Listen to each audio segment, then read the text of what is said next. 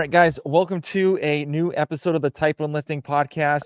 I have a very interesting guest. He is a CrossFit owner, coach, nutrition coach, father, and also the creator of the creator of the Masters Fitness Collective, Jamie Free. How you doing?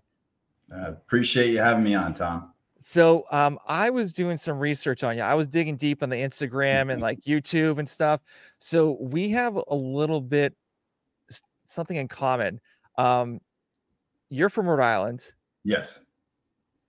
I am originally from Massachusetts. Okay. And so I saw the sweatshirt. I'm like, oh snap, he's a Patriots fan. Absolutely. And I'm like, I'm like, let's go, let's go. and so I got excited about that. I, I saw like I think he was with your daughter, and like there was like the, the Patriots logo was on the sweatshirt, and I'm like, oh yes, he's a Patriots fan. Nice. Absolutely. Absolutely. No, I born I was born in 82. So like, you know, um, born into a lot of losing. You know, so the Red Sox, Bruins, Patriots. Mm-hmm. The only ones that were really good at that time were the Celtics. Um, but you know, I mean, it's yeah, it's a way of life in my household. Even though my wife is a part-time Dolphins fan. so you know, yeah, yeah, yeah, we're, we're all huge, huge Patriot fans in my family. Nice. So I got my son, and so I was born in '79, so I was in that group as well. Mm-hmm. So and actually, my high school football coach was Roland James. He played in the 83 Super Bowl. And then then also my um my college football coach was Steve Nelson, which he was also in the 83 Super Bowl. Okay. So it's kind of like and I and I used to live so I lived in Sharon, Mass, which is like right next door to Foxborough. Okay. So it was like, you know, all all the all the pros just were like living around there and started coaching coaching the kids. I, was, I lived in Cumberland. Rhode Island. Okay. So it's like right right next to North Attleboro, which yep. You, we've all heard all about North Attleboro now. Um, yeah. unfortunately, but yeah. Um, yeah, no, that's cool. Small world. Yeah, and um, so what what made you move down to Nashville? Now, I've I've kind of been all over the place. Um, I I'm originally from Rhode Island. I've lived in Connecticut. I've lived in Tennessee. Um, then I moved back to Connecticut to play hockey in prep school. Mm-hmm. Um, went to college in New York, played football, and uh, then I moved to California. I worked in professional sports for about five years. Cool. Um, fell in love with nutrition. Um, I ended up moving back to Nashville in 2008 to open my own nutrition store.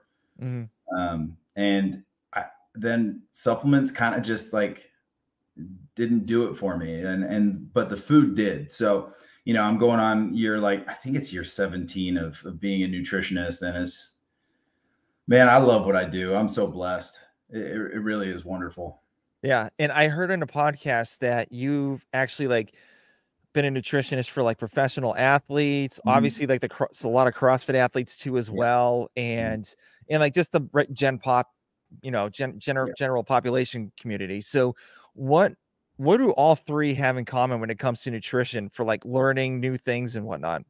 You know, I, I try not to think that there's one way to approach any of this because you know like like i've worked with type 1 diabetics i've worked with type 2 diabetics but i've you know working with everyone is so different and everyone's yeah. so unique so it's like trying to be like like i don't work off templates so it's more like you know i have our intake and I, we do our consult and then i build everything out based on the the conversation that we had there. Um, you know, so it's they're, they're not alike. I guess it would be my answer. Um, you know, the majority. Even I have two two twin sisters that are that are pretty good athletes that um that eat differently. You know, they're and they're the same genetics. So like, I can't treat can't treat everyone the same for sure.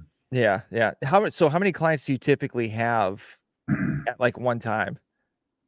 You know, I mean, I try to limit it these days because uh, I, I took a, a, actual corporate position. Mm-hmm. Um, so I'm I'm director of corporate wellness for a company out of Fort Wayne, Indiana, and okay. uh, but I take on it probably be anywhere between five and eight a month. Um, you know, and I have my reoccurring athletes that I still work with. I worked with a bunch of guys in the NFL and love. Uh, it's cool to see that, but you know, the majority of people that I work with that that actually pay the bills are you know just normal people like you and I. Mm-hmm. Yeah, and so um, do you have do you typically like if someone says hey i want to go vegan or i want to try like a different diet do you like kind of like MacGyver it to what their needs are or whatnot especially going vegan yeah you know i mean it's i usually want to know why um, just so i can understand where they're coming from so you know it's not like hey i thought i was going to lose more weight this way or anything like that if, if it's like a, a moral and ethical reason and or they're like, you know what, I just don't like the taste of meat. Cool, I can I can I can show you how to do that. Mm. But if you're doing it just because it's the cool thing to do, I, I, I probably won't be a part of that transition. Um, yeah, you know, and and and I'm comfortable saying no to people, um, but I'm also comfortable educating them on on what they you know what they want to do, what it looks like, and then being like, hey, th- is this realistic for you? Mm-hmm. So yeah, yeah. So my my wife and my kids are going vegan. Well, mm. actually, my my youngest my youngest is like kind of in and out here and there because she's she's five, so she's like mm. super picky. But my eight year old son is like like they want to just to go vegan, which I'm I'm all for. Like let them do it. They've been like yes. they have they have a nutrition nutrition coach and all that stuff, so they kind of like lead that path. I have no interest. Like I'll I'll eat it for dinner, but like I I need to have like steak or chicken or fish or something like that because I just can't. I don't know. I I just can't do tofu. It's just like it. It's so gross for me. And and even like Beyond Burgers, like the, I I the, some of them are not that bad. Like I've tried them and they're pretty good, but like it's just I just freak out about the chemicals and stuff like yeah. that. That's like the one thing I'm, I'm worried about. Well, you know, and I, I there's there's so many things that go into it, and people are like, oh, it's you know, I don't like processed foods, but that's like the most highly processed food that you can find. Mm-hmm. Um, and the, the issues I have with that is, are, are, usually more or less like, all right, they don't like, they, they think it's animal cruelty to, to eat meat. But what you're doing to the ground is killing so much of of part of the the whole sphere of of life the cycle of life that you know, I mean, it's it's like six to one, half dozen the other. So you know, it, you're it's a it's a lose lose if you're really looking at it. Um, mm-hmm.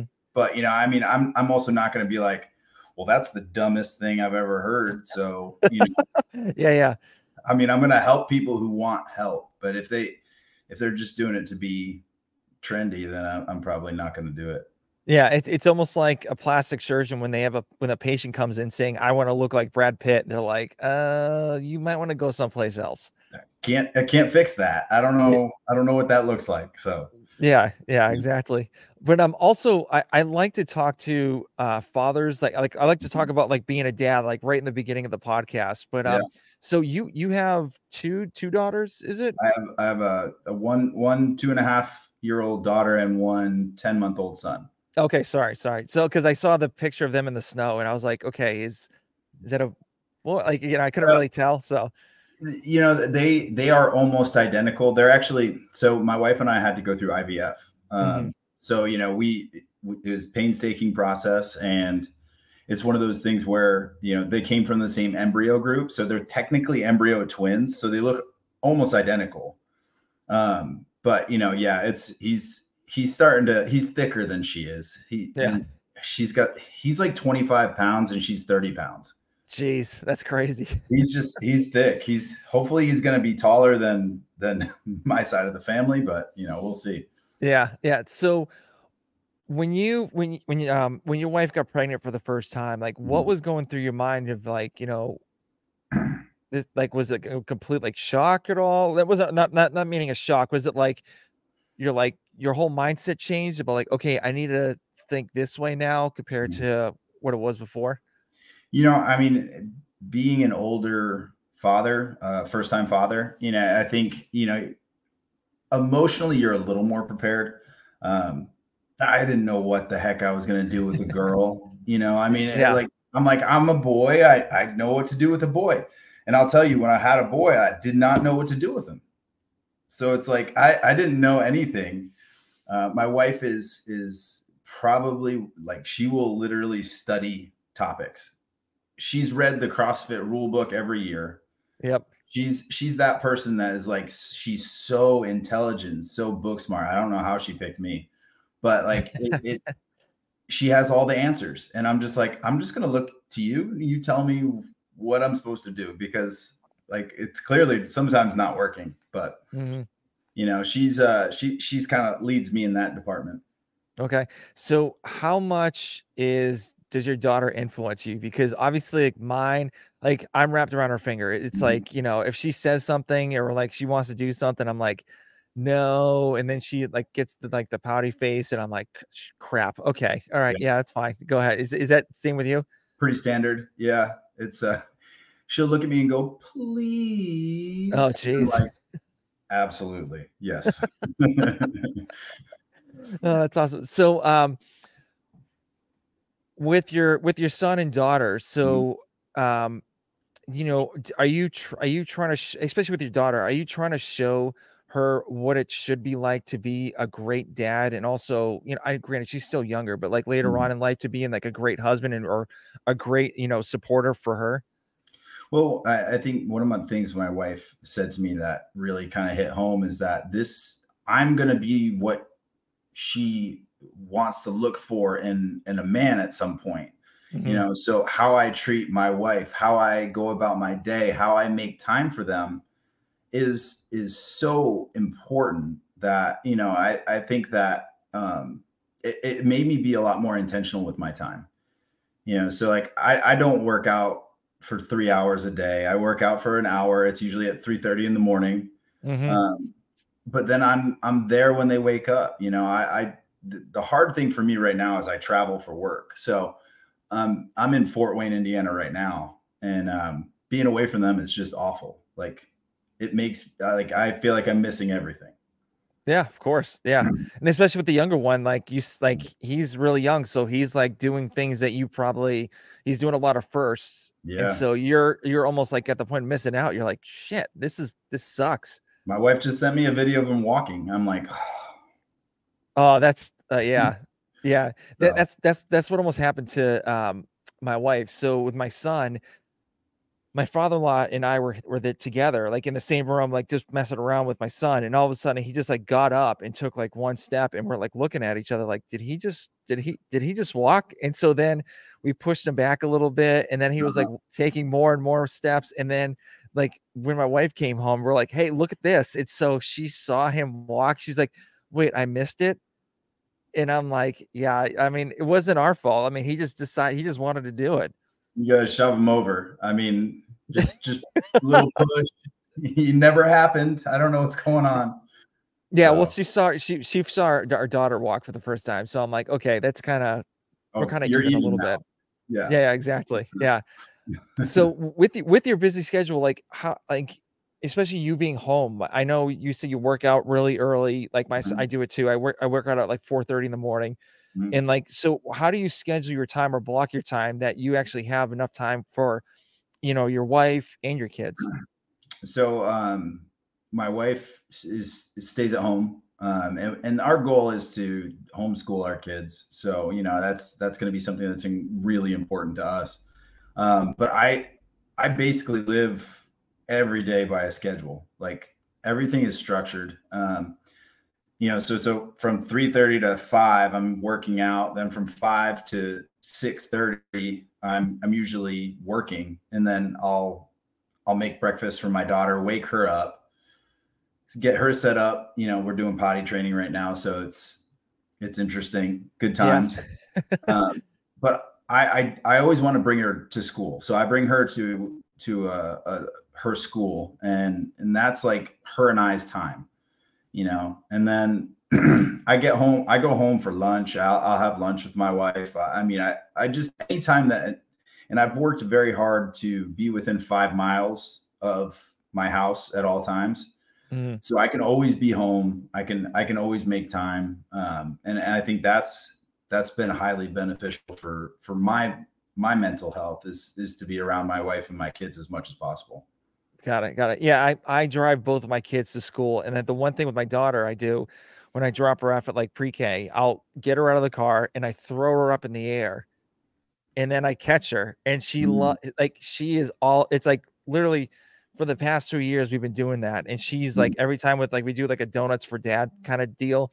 She's like, I love it when da- I love it when dad throws me up in the air before yeah. I go to school. So And I'm like, it's it's cool to like even like having her say that or like snuggling with you or even like my son like snuggling with them and they say like I love you. It's just like it's so awesome when you hear that. The first time my my daughter said I love you, Dad, I was like floored, like tears. I walked into the to the other room and I was just like crying. Like it it, it they it, I don't know what happens when you have kids, but it just all the emotions come out. Mm-hmm. They they just soften you up pretty much. Yeah, I'm. I mean, most people who know me wouldn't say that I'm soft, but like at home, I am very very soft, snuggle soft. Yeah, yeah. I mean, I it's just cool, just like having like you're laying on the couch and all of a sudden your kids just like lay right right on top of you, and it's just like yeah. okay, like that they feel safe and I feel uh, I feel at peace and it feels comfortable. So yeah, it's yeah, it's a good good thing to have kids. Absolutely. Uh, are you are you looking to have any more at all, or or, or just like you're two and done? Uh, I mean, I'm good with I'm good with two. Um, we would have to go through the process again, which I'm, you know, I we we got so lucky. You know, the IVF is not a guarantee. It's it's no. you know, when we got two out of it, and uh, I just I, I feel like I'm tempting fate, and and the failure of it is is honestly scarier to me. Like, say it doesn't work, you know, what happens then? Like, eh, I don't, I don't have, I don't have to worry about that right now because it worked twice. Mm-hmm. Um, so yeah, I mean, it, in my mind, I'm done. Um, but you know, my wife is constantly trying to talk me into more. So, and I'm like, and I'm 41. Do I really need more kids? I don't think so.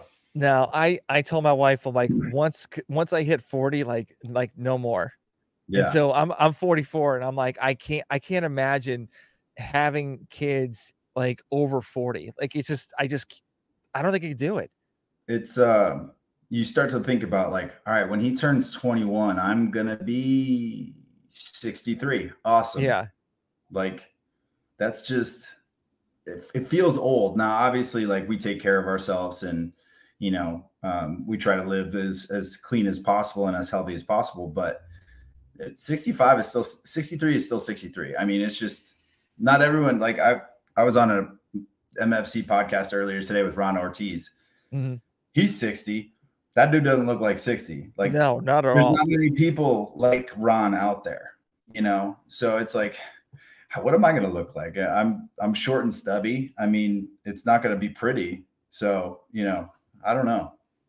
Well, I mean, you threw up some crazy numbers, by the way. So I was mm-hmm. hearing, um, oh, it was it was um, his I think his last name was Flynn. That You've been on his podcast like a couple times. Okay, yeah. I I, I forget. Like you guys were like literally sitting in the same room. Yeah, and Ken I, I, yeah, that that's it. That Ken Lap. That's right. I'm sorry. Um, yeah, you were telling like you're telling him your numbers like 275 snatch and and I'm like, that's damn, that's time. crazy that's all time. It, it, it's it's not recent because I, have had elbow surgery since then, and it's just mm. you know my my arm's not feeling the, the same as it was. But you know I was I used to be able to snatch 275 and clean and jerk 340, and but my pure strength numbers are are like you know I wish I trained like this in college when I played football because I I'm so much stronger now than I was. I'm more explosive than I was then. Oh yeah, you know? yep you know so i mean it's like man I, could i still could i still go hit someone? Maybe i don't know. That would be fun. Yeah like all mm-hmm. all of my numbers like and i'm 44 like are just like going like through the roof. That like i've never lifted because awesome. so my my clean and jerks 320 and mm. then my snatch is 250 and so and also i'm i'm six six so it doesn't really help me out with all that stuff. No not not even a little bit yeah. And so like it was crazy because like if you told me back when I first started CrossFit at like 27, and like, mm. hey, you're gonna be li- able to lift this amount at this this age, I'm like, there is no way I'm gonna mm. be able to do that. No way. And then I, I it's it. crazy. Just follow the program, follow a program, and like stick with follow a good program and yeah. stick with it, and then you'll get those get those gains. Mm. Well, I mean, and here's the thing: at this point, You've been doing it for so long. I've been doing it for so long. It's about making sure that you're smart with the training more so than just getting volume in. Um, I used to follow a, a different program and it was just so much volume. Like I'm like, I was injured all the time. But you know, when you're like, so I switched that off that and now it's just I I'm training smarter mm-hmm. for longevity. You know, I mean, I don't know if I'm ever gonna have to pick something up off the ground that's over 600 pounds, but you know, I mean, I do it occasionally. Yeah. So it's it's just one of those things where you kind of like, you know, there's a few things I'll check in on and be like, all right, I got it. And then there's a few things I'm just like, nah, I don't need to do that. Yeah. Yeah. It's yeah, it's interesting because like it's always at the point where like I'm I'm still like I still think I'm like in my 20s and I'm like, yeah.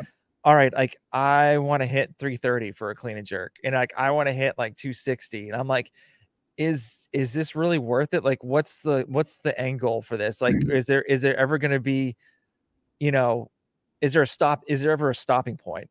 Yeah. So no. that's that's my main concern. yeah, that's my main concern. I'm like, I, I don't know, yeah. like if I like if I do one pound or like if I just stick with that weight and just like kind of maintain that, would that be worth it at all? Or I I don't know. You know, I mean, I think you can be happy with numbers, but never satisfied.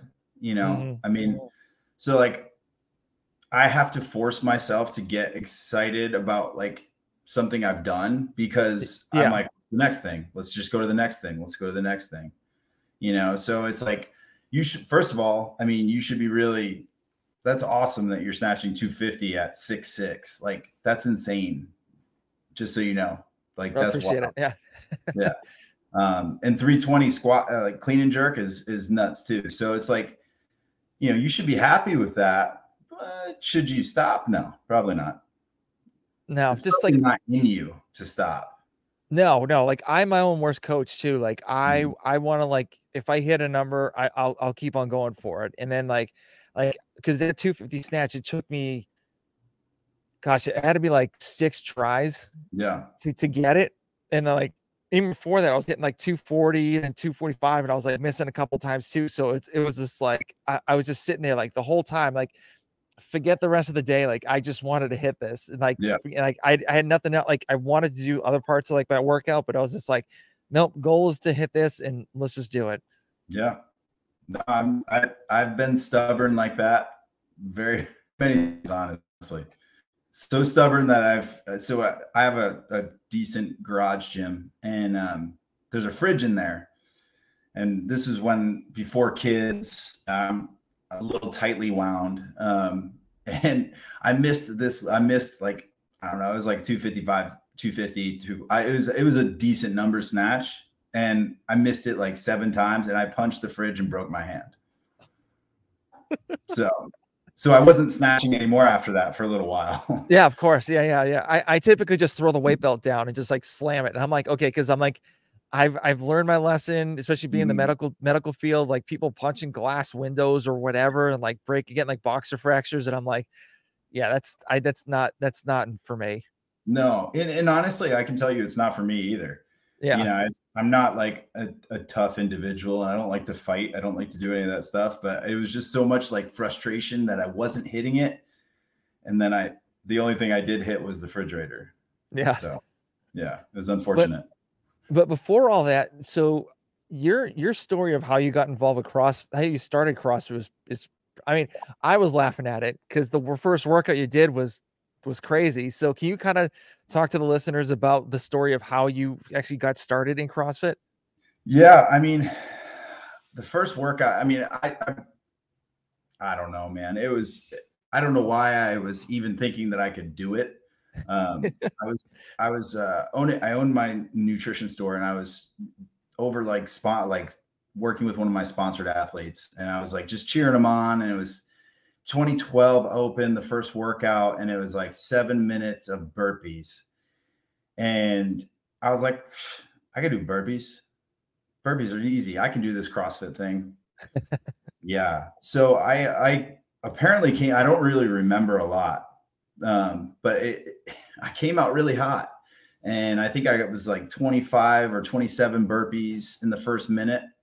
Oh my and God. Yeah. It was, it was a really bad situation from there on. Um, I, I ended with 83, which not that many when you come down, come out 27, but Um, I laid on the ground for like an hour and a half afterwards and just couldn't move. Mm-hmm. Um, and then I promised myself, I was like, I told uh, the guy who got me started, his name's Derek Robinson. Um, he's he's like an OG in in Tennessee. Um, but like I was like, I'll give you a year. I was like, you get me to regionals. I never want something to make me feel that way again. and um, every CrossFit workout has made me feel that way since then. Um, but uh, he got me to regionals in 2013, and it was um, it was quite an experience. Yeah. So what what was it like for your first time being at regionals? Oh man, I, I adrenaline dumped hard. I got so we didn't have a rower at the gym I was at because I had just switched gyms. Mm. Uh, I'd never done Jackie before, and uh, I smashed the 1K. Just I was like first off the rower, and, and then I got to the barbell, which is 45 pounds. I'm like, no big deal. Um, I got to 19, and my body was just like, nope, you're done. Just shut down, and I finished second to last. first second to last.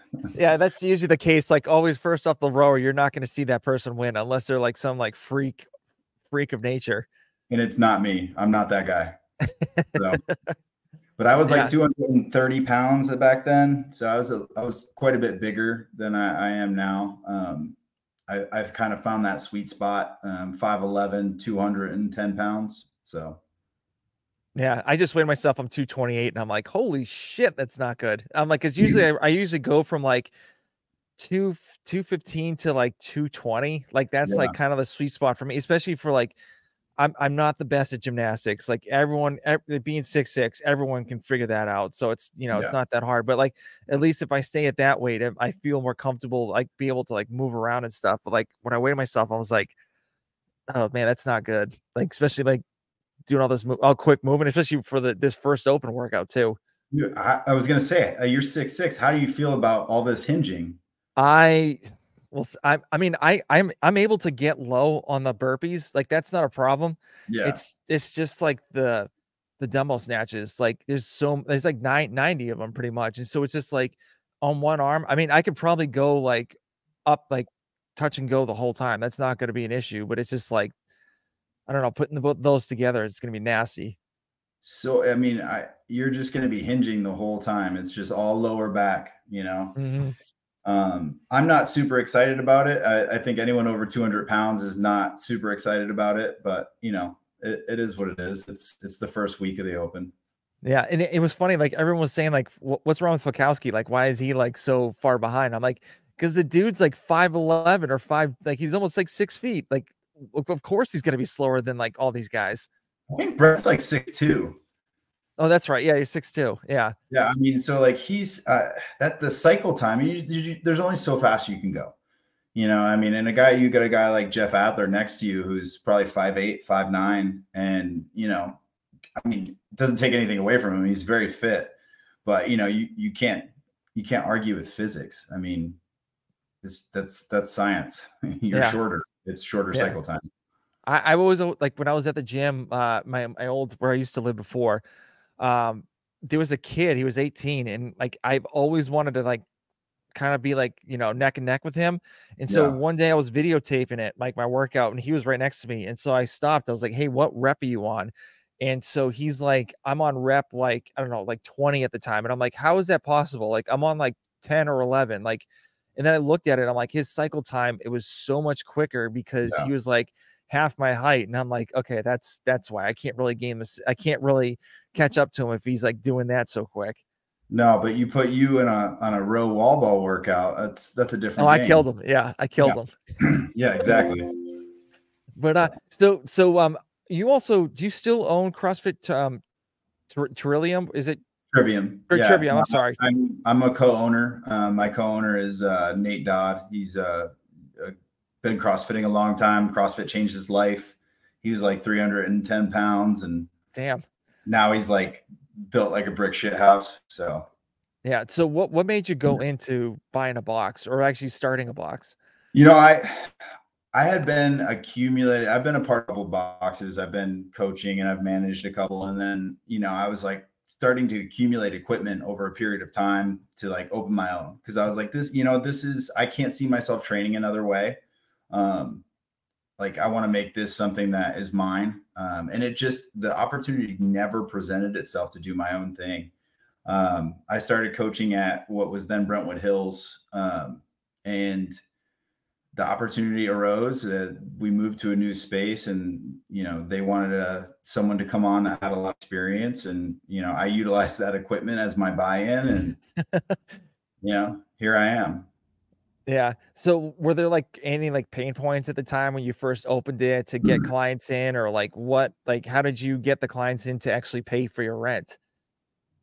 Well, I mean, it's um, it was it was it was tough initially. Like we did we had like kind of like a sublease with someone, and that was a really bad relationship. Um, and once we kicked them out, then COVID hit. So it was like, all right, now we're shut down. And luckily, we were only shut down for five weeks. Um, Williamson County is just a little bit more conservative. Um. So we we lucked out on that side of things. Um, but like coming out, going into COVID, uh, Nate and I had a really good plan. Uh, we cut, started whittling down class sizes. We made the boxes. We did all that stuff. And then going out of it, we did the same thing, slowly building it back up to our, you know, 15, 16, 17 person classes. But um, we were just really meticulous about it. And I think, you know, the way we handled things, uh, we went from like 80 members to, I think we're over 200 now. So, wow. It's, uh, yeah, it's, it's, he's a great partner to have. Um, he's kind of a tech nerd. Um, so he like he does a lot of the SEO stuff. He does. I mean, I just I I interact. Uh, I don't do a lot of technology stuff. So yeah, yeah. Um, it's it's a really good partnership, and and I've enjoyed it. Yeah, and you've had some like CrossFit athletes like Brooke Wells, Will Moorad, mm-hmm. Alex Smith, um, even Bro- uh, Brooks uh, Sydney Wells as well as yep. well. And uh, so how did how did they all of a sudden like come to your gym? And like what made them kind of stick for a little while before they you know moved on? Well you know and brooke brooke and uh, will are still at the gym um you know so they're i was will's nutrition coach for probably like eight years um he's just he's a smart guy he knows what to do now he doesn't really need assistance there he's very analytical so um he's he's done really well for himself. So I mean, like, I'm not gonna argue with him. be like, "Oh, you look fat." Um, but like, uh, so I still I work with Brooke. Um, they're still there. We had like Streat Hoerner was there, Alex Smith, um, Sid, um, Sydney Mikulishin was there for a little bit. Um, all the proven people were there before proven, you know, had their headquarters uh, in Nashville. So um, you know, I, I, think how we handled Brooke during the 2020 games was was awesome. Like it, it we we put on a show for her, um, and that kind of like you know built a relationship that you know she, I don't think she's unless she moves, I don't think she's going anywhere. Um, you know, she she feels at home at Trivium, and and we're lucky to have her. Yeah, and so how do you block off the time from? Like them training compared to like your other other clients that like just are there just to get that hour workout in. Mm-hmm. So how, how, how do you manage like those those schedules? Um, we we prioritize classes. So our members and our classes always have a priority. Um, when I'm coaching, I coach 11:30s on Fridays usually, and I let everyone know I'm like, hey, in five minutes we have class and no one else is working out during class except for the class because our 1130 class is probably one of our bigger ones.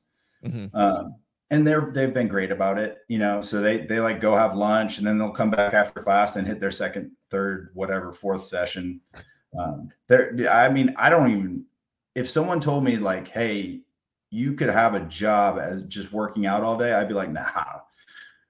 Like that's Eh, this is a, a stress reliever. I, I, don't, I couldn't work out for three, four hours a day. That just doesn't sound enticing.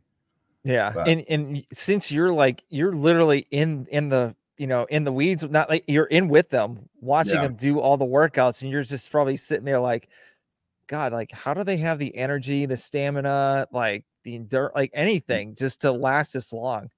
I will tell you the Will is Will is special um, because he's been around since he like his first regionals was my first regionals. yeah. So like, and he was 18.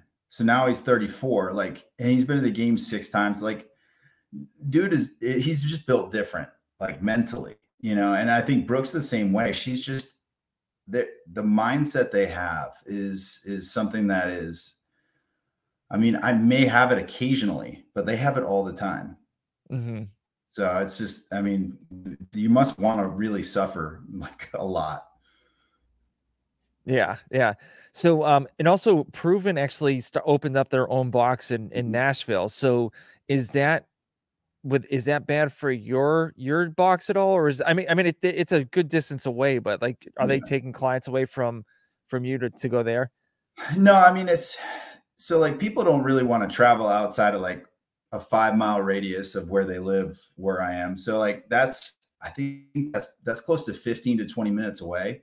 Mm. Um, so yeah, we we didn't really lose anyone. Uh, I know that Sid goes down there and trains because you know she's on Team Proven. Um, so it's you know outside of that, I mean we we haven't really, you know, I, I wish them well. Um, they utilized our gym for a long time, and you know I'm I'm glad that they have their own space now. Have you have you been there yet? No. No. Do you, do you have any plans of going? No. No. Okay. no, I, I, mean, I again, I, I don't really like to leave my my bubble. So, yeah, um, you know, going, I don't go down to ta- downtown Nashville. I don't, I don't go down and do any of that stuff. So, like heading down there, unless like they were doing some sort of MFC like promo thing, then I, I probably would. But uh, I just, I'll let them do their thing. Yeah, Nashville's getting crazy. So I I live about, I think like maybe three and a half hours away because I live in like northern part of Georgia now. Yeah. And so it's um, but like, yeah, Nashville is just is exploding, which is absolutely insane. Yeah. It's um it's kind of, I mean, you said you're from North, you're living in North Georgia. I mean, it, it's uh, like a 10 maybe eight year ago Atlanta. Yeah, exactly. And and like and now since everyone was living in Atlanta, they're all like, you know, spreading out or even like moving up north. And so it's mm-hmm. just like there's a there's a road called 400. It's like an it's not an interstate, but it's like a highway. And like all of 400 is just like growing. And even further up, where there's like barely any lights there, it's just like you literally see like apartments building up, like yep. homes, and it's just like, gosh, like where are all these people coming from? Yeah, well, most of the people coming to Nashville are from California, so um, that's what we've seen. Um, you know, more California plates in our neighborhood than I, have ever anticipated seeing. I lived yeah. in California for about five years, and I'm like, I, I personally would would not want to live there again. Um, but you know, that's you know, apparently a lot of Californians are are not wanting to live there either. Yeah, yeah, and, and I mean, why would they? I mean, the, the whole COVID lockdowns, uh, like the the lockdowns and everything were just absolutely insane, and it's it wasn't even fair for anybody. No, I I agree with you. It was it's definitely it was a different situation uh, in different parts of the country for for everyone. Like everyone was dealing like for everyone dealing with the same thing to have to deal with different things constantly. Like it, it didn't make a lot of sense. Yeah, yeah, and that's why like even people from like New York or like even mm-hmm. Massachusetts, they were all like moving down to Georgia or Florida or wherever, or like getting out of California. And like, and like, that's where like, I mean, I, I know that's what some of the boom is coming from, but it's just like, yeah. how many more people are coming down? I mean, I don't think we could fit anymore. I think everyone has to go back. yes, please, please do, please do. Yes. So, uh, do you do you miss the winters at all from being up north to? I mean, you guys still you still get some snow.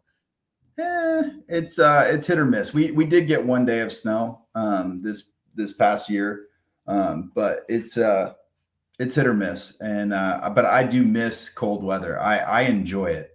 Um, my wife is maybe a little less. She's from Santa Monica originally, mm-hmm. um, so yeah, she doesn't really enjoy it. Um, but I think my whole family lives up there. Um, my mom's in Connecticut, my dad's in Maryland, so it's um, we still get to go up and, and see it sometimes. Yeah, yeah. It's I think the the um the straw that broke the camel's back for my wife and I, she was seven months pregnant, and I was like over my two week annual tour for the Air Force. And so she's like full blown pregnant, shoveling snow in New mm-hmm. Hampshire where we were living at the time. And she's like, that's it. Like, I am done, done with yeah. this. And so her family lives like like the town next over from where where I live now. And like she's like, Yeah, we're moving down south. There's like no ifs, ands, or buts. So once this baby's born, we're we're leaving. Listen, I mean, my wife hasn't given me that ultimatum yet about moving anywhere, but I'd I'd just listen. Yeah. Well, I mean, I, I had no choice. So yeah, whatever whatever makes them happy, I'm just gonna go ahead and do it. It's fine. Yep. Yeah, that's what I that's what I did. I was just like, and and I'm I'm actually kind of glad because yeah, I know you being a New Englander too. We typically like to stay in our own little like bubble. For me, mm-hmm.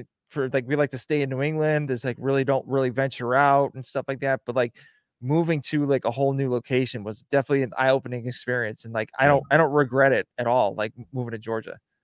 No I, I mean i've moved a lot in my life so it's like you know what's one more place but i've been in nashville now for this is the second time i've been in nashville and it's you know i'm going on gosh 15 16 years.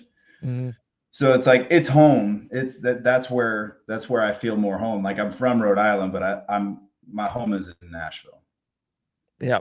Yeah, I my I'm I've been down here for like nine years, so it's like almost like starting to turn over to like okay, it's it's Georgia. That's it. Yeah, exactly, exactly. Yeah. So um, back to your gym. So I know you have like Will Moorad. I think. Do mm-hmm. you still have him programming your your for your box at all? Um, no, we actually we last year um, we made the decision to just let him train for the games instead of getting us stuff and um, he had a lot going on uh, family wise and stuff mm-hmm. like that with his wife. So, you know, we, we attempted to try to alleviate some of that. And we went with, um, we do the proven affiliate program. Okay. How's that? How's that going? It's working out. Everyone seems to like it. So it, all that matters to me is that the members like it. And, you know, that's, that's number one. Yeah. So what is, what is the big picture of the gym? Are you looking to like expand to open another box like close by, or like what's the what's the goal for? I don't know, like the next couple of years for for it. Well, I think so. We just opened another one, um, so okay. we have two, um, and it's it's probably like six miles away, but it's just it's just far enough where they're completely separate. So we have one there, one, uh, and and they're both right. Like my house is right in between them, so it's perfect. Sweet. Yeah. Yeah. It's it's like ideal. But um like we I mean, we're always open to having those conversations. We'd like to have more. Um, I think that's the way if you want to make this a business, you you can't just have one gym. Um, you need you need multiple. Um, so and I know Nate is is Nate definitely wants to make this a business mm-hmm. that that he he that we get paid from. So it's um you know, I think that's that's the key and that's the goal for us. And you know, someday maybe we have three, four, or five. Nice, very cool, very cool. Mm.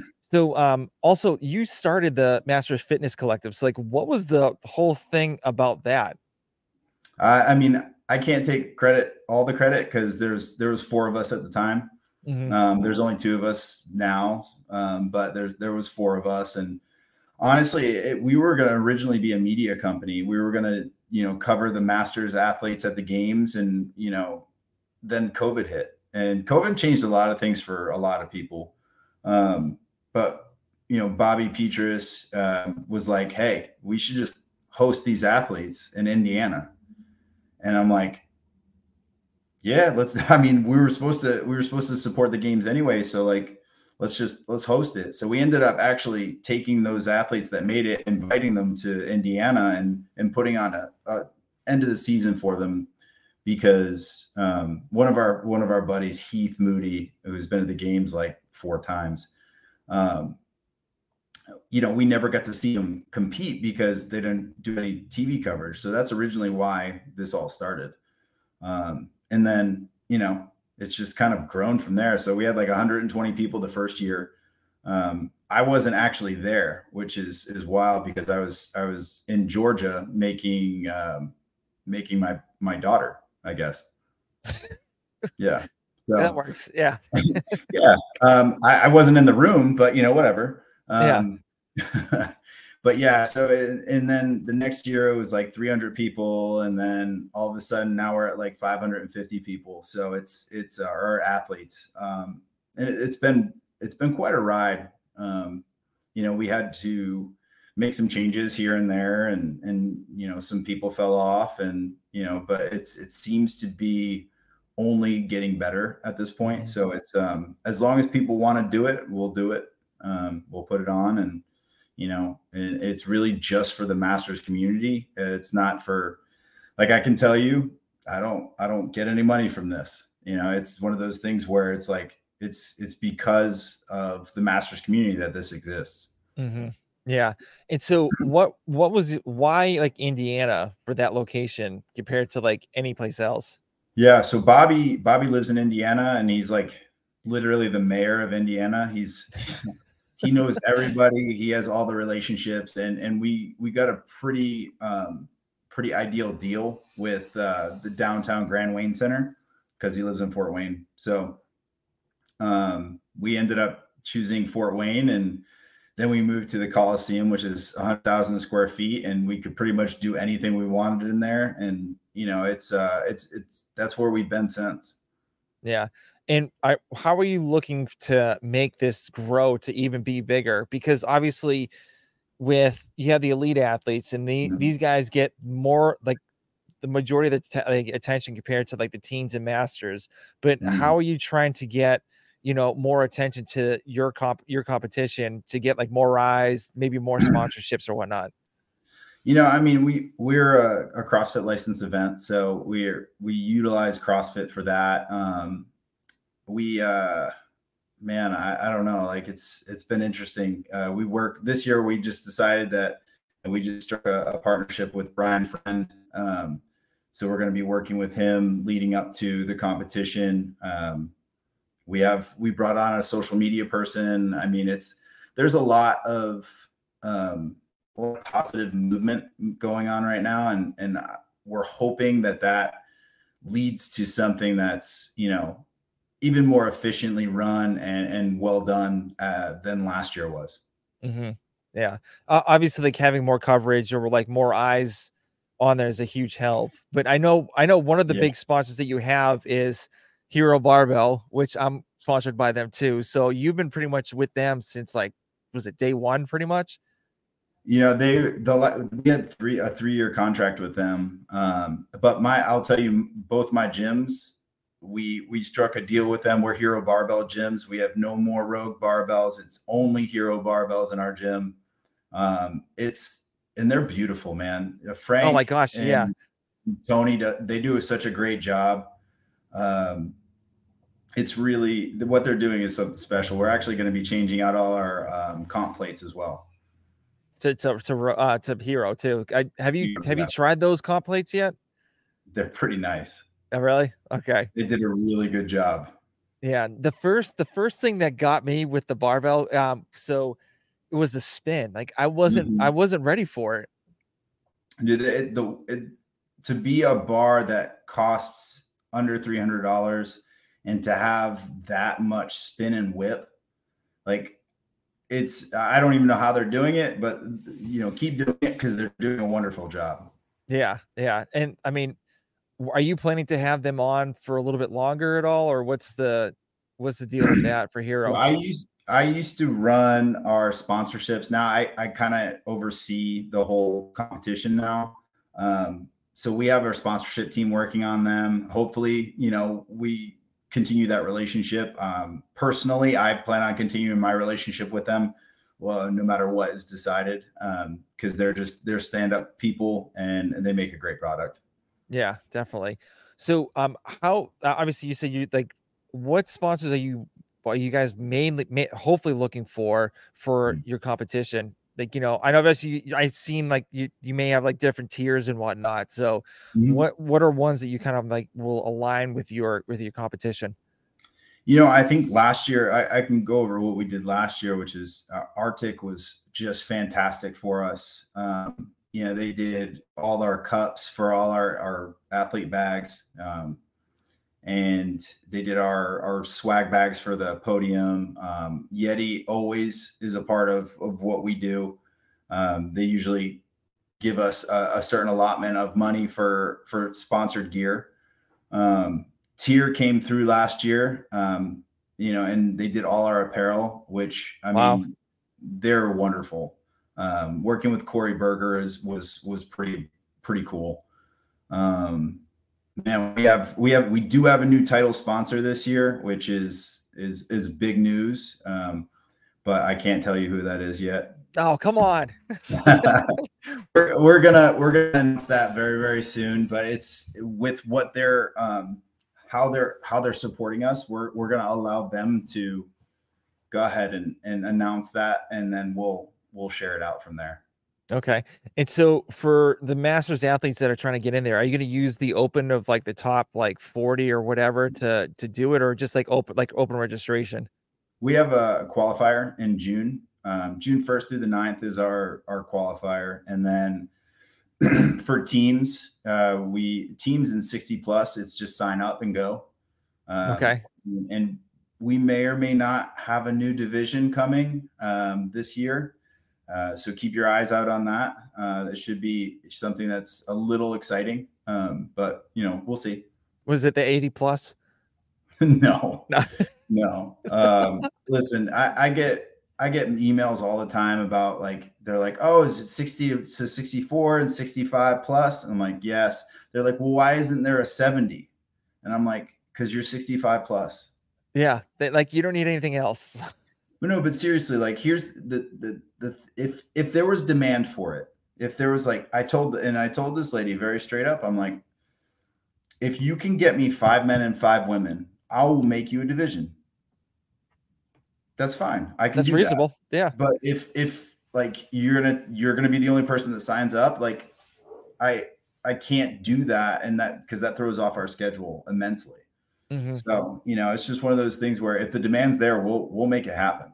Yeah, and and that's almost like the adaptive athletes too, because you have some division that that may have like ten people max, maybe, mm-hmm. and it's like not worth it for them to to have it, so they'll just mix it in with like other people and other groups.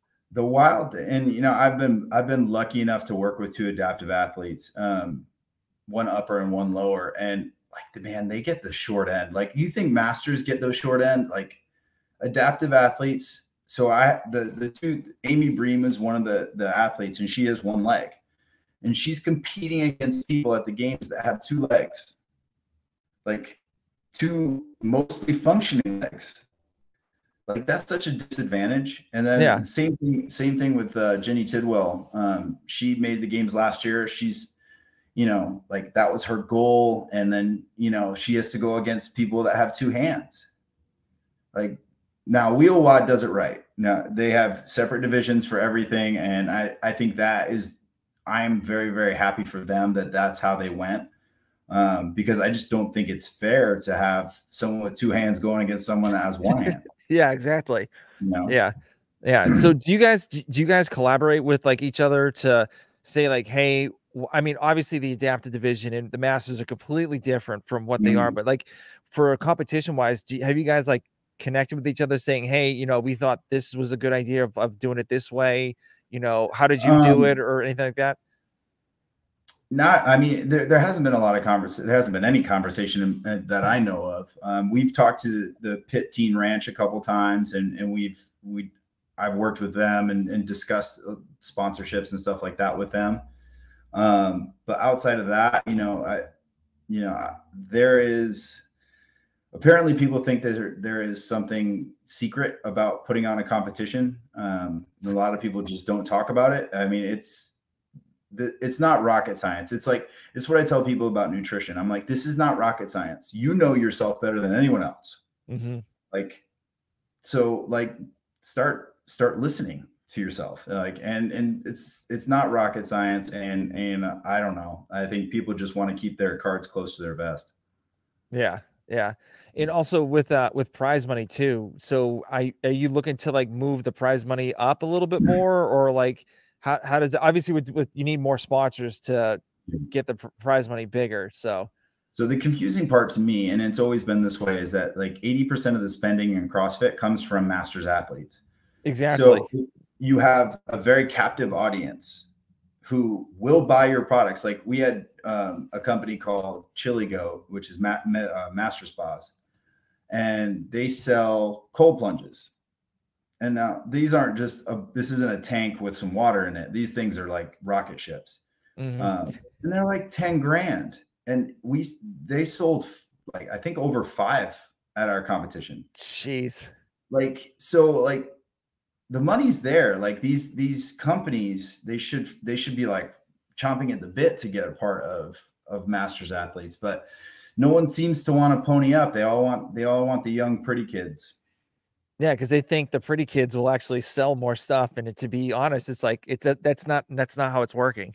It really doesn't. Um, you know, I mean, you look at like like we already talked about Ron. Ron works with Master Spas. Like like that's that's the, people you want to go after. That's the people you want to give like the comp comped uh, spa to because they're going to sell it better than anyone else. You know, so I, I mean, it's it's confusing to me. It's always been confusing to me. Yeah, yeah, it's yeah. I I, I don't get it because like for example, you'll have some influencer that has like a million plus followers. Mm-hmm and they're not making as enough they're not making as much money as a person that has maybe like 15 to 20,000 or even 10,000 because the 10,000 they get more views or like get the people like they feel like they're connected. So I don't understand like why a masters competition is not connecting with, you know, everyone else or, or bringing them in to hmm. connect. I mean, I don't know. Do we have to go after AARP or like, do we have to go after like Gillette? I mean, what do we get? What do we have to do is the question, you know? And I think that if these companies really want a, a piece of the CrossFit space, they should go after masters. Mm-hmm. You, you, know what? You know, was an interesting topic. I was watching the uh, Peter White Coffee Pods and WODs, the the Beyond the Whiteboard thing, mm-hmm.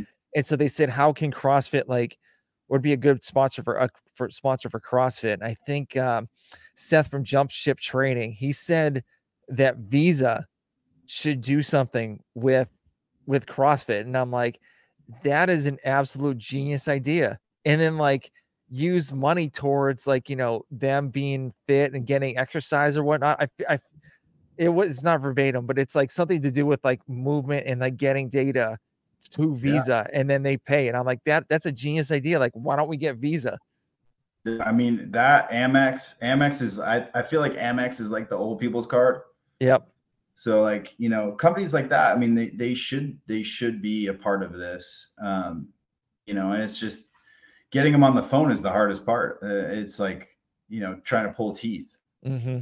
Yeah, it's like constantly like for me as a I was a recruiter back in the day, so it's like you're always on the phone like every single day, like calling the same person. It's just like, yeah, it's crazy. But I was thinking you could also get Advil or Aspercreme maybe yeah, on the seriously. on the team or something like that. Just any anything. Yeah, what what's the the uh the denture Orajel? Yeah, or like uh something like that. Yeah. you know, anything for old people. Um, yeah. Blue emu. Um, oh man, that's awesome. But um, we're we're getting close to the end, so I don't want to take too much time off off you. But uh, so I have some um rapid fire questions. They're not really rapid fire, so you can take as long as long as you want. So um, what are your goals personally and like business wise for the end of the year? Personally, um, man, I just I just really want to be a good dad and a good husband. I mean, I think you know, I used to be to like, oh man, I want to go to the games, I want to do this, I want to do that. Now I'm just like, I just want to be a good a good person. You know, I think that's my number one. Um, and it's it's a learning process because sometimes my my sarcasm gets the best of me, and you know, you're from Massachusetts. You yeah, it's, it. a, it's it's it's a New England thing. Yeah, you know, we're just we're a little gruff around around the edges. Um, business wise, you know, I mean, I'd like to continue. I've, I've had my my nutrition company for 16 years, um, and uh, I'd like to continue to grow the gym. I'd love to get one more gym before the end of the year, um, and then continue to to grow um, the the wellness company that uh, I'm working for. Mm-hmm. So would you, if you open another gym, would you do it out of state or would you kind of keep it in the same area? Um, I mean, I, I think it would, I would want it outside of the 10 minute, 10 mile range. Um, mm-hmm. you know, and I think Nate and I have discussed that. And, you know, if the right opportunity comes up, we have our eye on a few different locations. Um, you know, if it, if it happens, it happens, and we'll be excited to to continue to grow. Okay. All right. So next question. Um, what is your favorite book to read? Oh man. Um, I've I've committed to reading two books a month this this year. Um, the most recent one I read was Breathe by uh, James Nestor. Um, I, I mean, science. I like the science. I, I'm a, I'm kind of an analytics nerd. Mm-hmm. Um, you know, so learning about breathing techniques and things like that, and and where these techniques came from was was pretty cool. Uh, I'm also like I do. I, I will literally listen or read to anything that's nutrition based. So um, I just the other book I read this month was um, Your Brain on Food. Okay. Uh, and it was it was interesting. Um, you know, I mean, interesting, I would say. Yeah. Yeah. So have have you been watching some of those like Netflix documentaries like You Are What You Eat or like those other no. other okay. No. So so there's there's one that my wife and I watched. It was uh, I I think it was called You Are What You Eat. So they had two they had like I think it was like 9 to 15 set of twins. Yeah. One one went like a regular diet with like meat and vegetables and all that stuff and the other person went vegan. Mm. And so they were like it, it was interesting because like they said like oh th- this person's like you know blood levels were good the other person was obviously because some of those documentaries are completely biased towards like to, towards one thing and so the one thing that really got me that kind of freaked me out was the vegans they lost like all muscle mass mm-hmm. they, like not all of it but i'm just saying they lost like a little bit compared to the other person that's eating meat like still had it so yeah it was it was interesting Yeah, I mean, you look at things like uh, documentaries like that and game changers and uh, all those mm. things, and you're just like, you know, first of all, who's backing it? You know, you so you look at game changers and you have Steven Spielberg and Bill Gates as the big backers for that one. Well, those two guys are they own fake meat plants. Like they own like the largest population of them, you know. So it's like all right, who's funding this? Um, and I'm not like a huge conspiracy theorist guy or anything like that, but when it comes to people who want to make money and don't care where they get it from, like I, I just I try to follow follow common sense. Yeah, yeah, and especially with the game changers, um, that strong man that was carrying that yoke for like X amount of like distance. Yeah. I'm like, yeah, he's big and he's plant based, but like, how how much gear is this guy on? Or like exactly. like what what else is this guy on other than like eating vegan or eating eating a plant-based diet? You know and and listen i'll tell you like if it still takes a lot of work whether you have you're enhanced or not you know for for a guy like that to be that big and that strong it takes a lot of work and dedication but like is it easier? Yeah. Absolutely. Like you can pretty much as long as you stay within a calorie sorry, calorie level, you know, anabolic steroids are going to be the thing that actually like keeps that muscle mass on and keeps you big while you know you're trying to like lean out or do any of that stuff. So, yeah, I mean it's it's all a little biased. Um, the food industry has kind of done this for a very long time. Yeah. Um, so it's it's just one of those things where the the FDA's kind of become a little bit of a joke. Um, there's just it's like the Wild West. Mm-hmm. Yeah, I, I, mean, they even have like some some products here that are actually banned in Europe. Yeah, a lot of them. Yeah, and it's a like a lot of our processed food is is other parts of the of the world aren't allowed. It's should say something. Yeah, exactly, and especially with the Kellogg CEO saying you should eat cereal for breakfast for dinner too, help you save money. and did you ever see that uh that that food pyramid that they had that's like cereal is better than chicken Yes. Yeah. Like, or like, yeah. It's like, really? How's that, how's that possible? Like, it's, it's not scientifically possible. No, no, it's definitely pushing money someplace to some yeah. other place. So, yeah. Exactly. All right. We went off on a little tangent, but it was a good one, though. So, right. so let's just, uh, so this one's going to be a little bit deep. So, let's just say it's your last day on earth. Um, how do you want people to know you as? Wow. Um,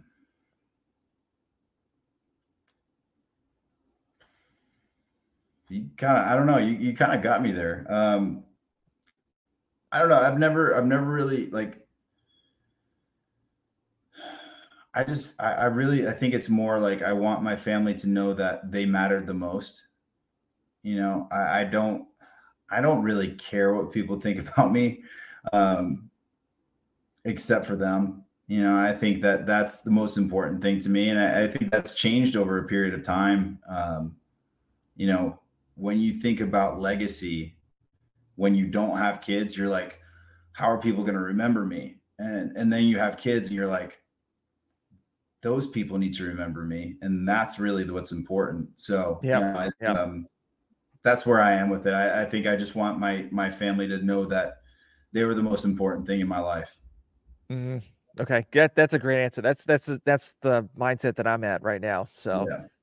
It's like I just want to make sure, like, especially doing this podcast, like I want to make sure that my kids hear me talk to other people, or just they can hear my voice after like I'm long gone or whatever, or even my exactly. grandkids too. So yeah, I mean, and and that's the that's the legacy that you're leaving. You know, you you you give everyone the opportunity, your family the opportunity to, you know, enjoy you outside of being dad you know i mean and they get to watch this and listen to this i i mean i think that's that's a beautiful thing. Mm-hmm. yeah my son's like really getting into like podcasting too. So we have his like own little podcast called curiosity the kid.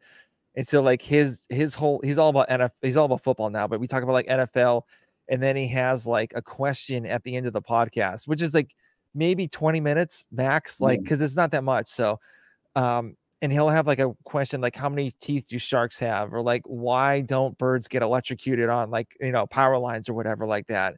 and just yeah. like this like silly questions like that or like who was who's the most accurate ki- kicker in the NFL right now? just like s- stuff like that just to get get the questions going and like ha- having him think about stuff. Just, so that's he's he's all about the podcast yeah and he wants to hear his podcast like over and over and over again too. It's just like can we watch this? I'm like can we listen to this? I'm like I'm like, buddy, we, have already heard this 10 times already. Like, do we need to like we just recorded it? Come on. Yeah, exactly. And it's like, and another thing is like he likes doing it, but I I don't force him to do not I don't force him to do it. I'm like, hey, you know, we can do the podcast anytime you want. I'll set it up. Like I I'll I'll you know put it out there in the world for everyone to listen to or watch to watch whatever. But like it's gonna be on your own terms. If you want to do a podcast today, we can. If not, like whatever, we'll do we'll do it, we'll do it another time.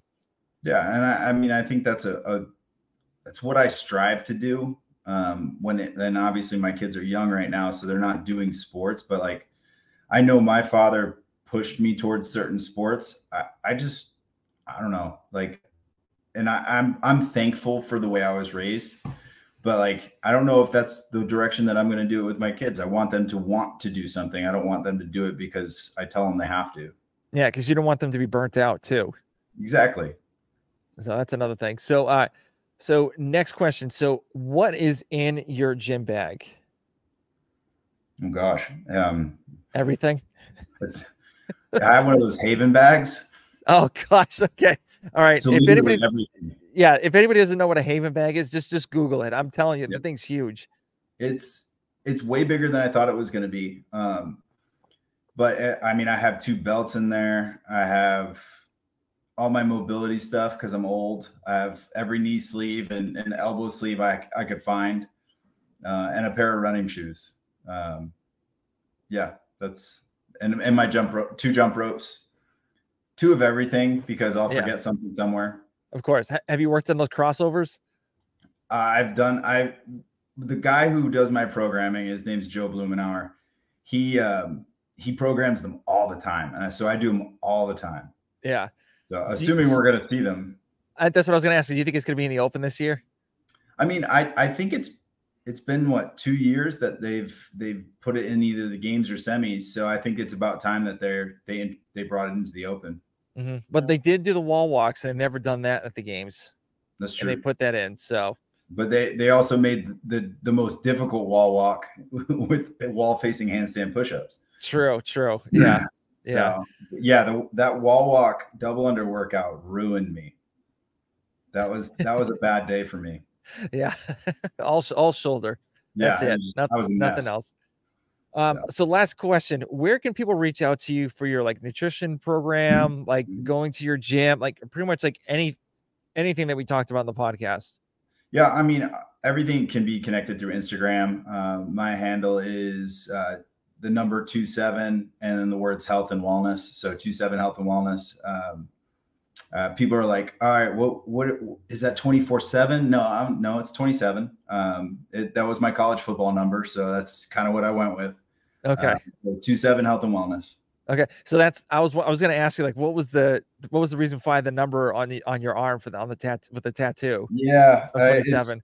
It's, it's, that was my college number, and then so I didn't get the tattoo until um, I had been I had owned my company for for about ten years. So um, it was it's it's something that is a part of me, and and I'm I'm very very lucky to get to do what I do. So yeah, that's awesome. Yeah. Well thank you for coming on the show. I really like this was this was awesome to get to know you a little bit more. And you know, I, I would love to have you back on to talk about yeah. like more old fogey stuff, you know, whatever. Mm-hmm. So and uh well, both masters. I'm I'm happy to talk about it. Yeah, definitely.